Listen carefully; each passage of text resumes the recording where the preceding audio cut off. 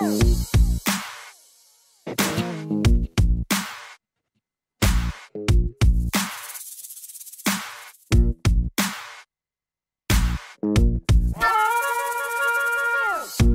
sur la SPA. La Société protectrice des animaux, plus communément nommée SPA, est une association fondée en 1845 et reconnue comme établissement d'utilité publique. La devise de la SPA est sauver, protéger, aimer. En effet, le but de cette association est d'améliorer le sort des animaux, de lutter contre leur trafic, de veiller à leur protection et de sensibiliser le public. La SPA est présente sur toute la France et est composée de 12 dispensaires, de 4 délégations, de 63 maisons SPA et refuges, comme c'est le cas du refuge Gérard Crémer à Harry. Alors, le refuge, euh, nous, à Harry, a été légué en 1990 par monsieur Gérard Kramer, d'où le nom du refuge. Et il est par contre plus ancien, il me semble qu'il date de 1897, me semble-t-il. Il est très ancien, c'était une ancienne étable. On a plusieurs bâtiments au niveau des on a donc quatre bâtiments euh, qui composent nos chenilles, donc avec un espace euh, extérieur-intérieur. Pour l'espace intérieur, il est donc euh, chauffé et les animaux sont rentrés aux alentours de 17h en hiver. Concernant les chatteries, donc on a une chatterie principale où nous sommes et à l'étage, environ 5 à 6 pièces réparties dans tout le bâtiment euh, qui composent par exemple l'infirmerie ou euh, les soins divers, les retours de stérilisation. Actuellement, on a environ 70 chiens et autant de chats. Le refuge Gérard Crémer compte 9 salariés à temps plein et une trentaine de bénévoles pour s'occuper des pensionnaires. Actuellement, ce refuge compte quelques 140 animaux répartis à égalité entre chats et chiens. Les salariés et bénévoles se répartissent les tâches courantes telles les nettoyages des box, les soins médicaux quotidiens pour les animaux en nécessitant ou encore les sorties des chiens. Outre ces tâches, il y a également des activités hors refuge comme les collectes alimentaires ou encore l'organisation de portes ouvertes ou autres manifestations. Les salariés bénévoles se doivent également d'accueillir les adoptants afin de les orienter vers des animaux qui correspondent à leur mode de vie ou encore d'accueillir les nouveaux pensionnaires comme ce fut le cas ce jour-là pour la petite Belle. Belle, une petite chienne qui vient de se faire abandonner aujourd'hui parce que sa propriétaire est très malade. Donc elle a 4 ans, elle est complètement stressée. Elle va déjà voir le vétérinaire, savoir si elle n'a pas de soucis de santé, voir si elle est stérilisée et après elle sera ensuite mise à l'adoption. Cette petite croisée pincher de moins de 10 kilos ne devrait pas rester longtemps au refuge car les petits chiens sont les plus demandés. Elle va partir vite, oui, parce qu'elle a l'air très gentille. C'est un petit chien, donc beaucoup recherché pour les appartements et pour les personnes âgées. Les adoptants potentiels doivent présenter un certain nombre de papiers avant de signer leur contrat d'adoption. les chiens, donc comme les chats d'ailleurs, vous avez besoin d'un justificatif de domicile, d'une pièce d'identité. Tous nos animaux sont tatoués, vaccinés et stérilisés. La participation pour un chien, donc 150 euros jusqu'à 8 ans après la participation est libre. Et le chat, 90 euros. Et ensuite, c'est aussi un sauvetage jusqu'à 8 ans avec une participation libre. On a énormément de sauvetage en ce qui concerne les chiens. Donc euh, le sauvetage, tout simplement, euh, c'est l'animal qui a plus de 8 ans donc euh, avec une participation libre. L'adoptant nous donne euh, ce qu'il veut. Et euh, on a également des chiens qui sont en échec d'adoption, donc qui sont là depuis quelques mois, voire plus rarement quelques années, comme en l'occurrence Erus et Eros, pardon, un couple de frères qui, qui, sont en échec parce que malheureusement on ne peut pas les séparer, donc il faut adopter les deux, le couple ensemble.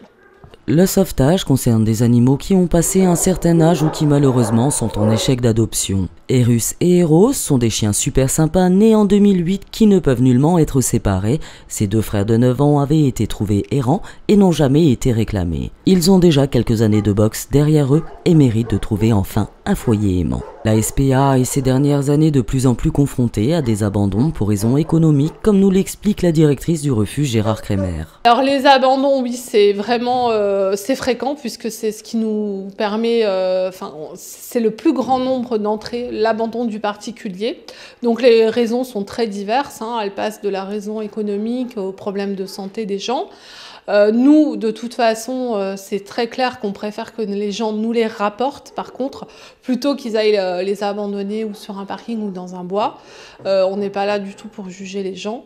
On essaye, avant de prendre la décision définitive d'abandonner, de trouver avec eux une solution, de les accompagner, mais malheureusement, euh, quelquefois, euh, ils optent pour la solution de l'abandon. Rappelons que les chiens accueillis dans les SPA proviennent majoritairement d'abandon du particulier.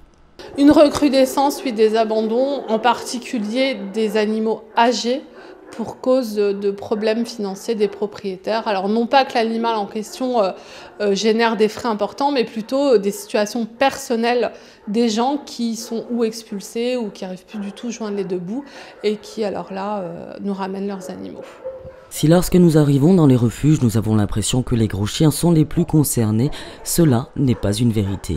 En effet, les petits chiens sont généralement en intérieur et sont plus rapidement adoptés. On voit essentiellement les gros chiens parce que, pour la simple et bonne raison que les, petits sont mis euh, au chaud avec nous. Hein. On a un espace qui est dédié derrière.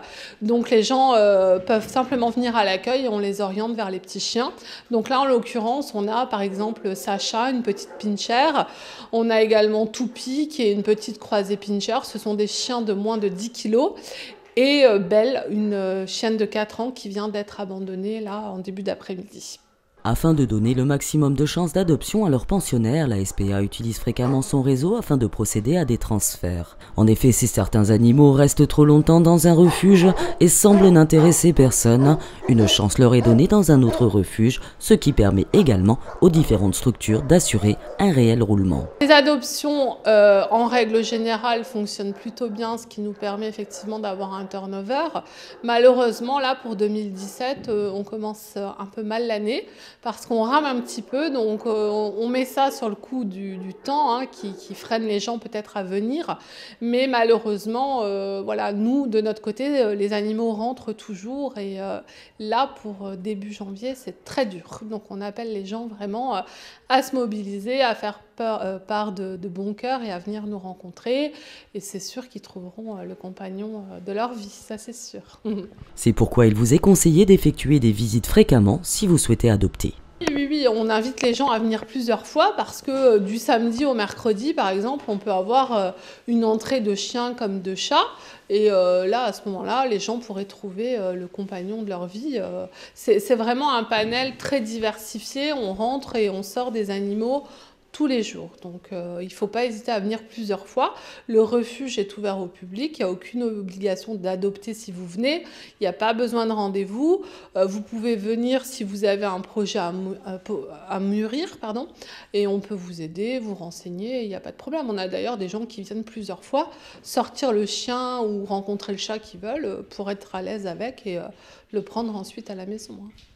La Société protectrice des animaux rencontre un certain nombre de difficultés, particulièrement en ce moment. Alors les difficultés euh, en période hivernale comme actuellement, c'est le manque de place pour les chiens, puisque les box d'été sont condamnées, on ne met pas les chiens dehors, donc les places sont chères.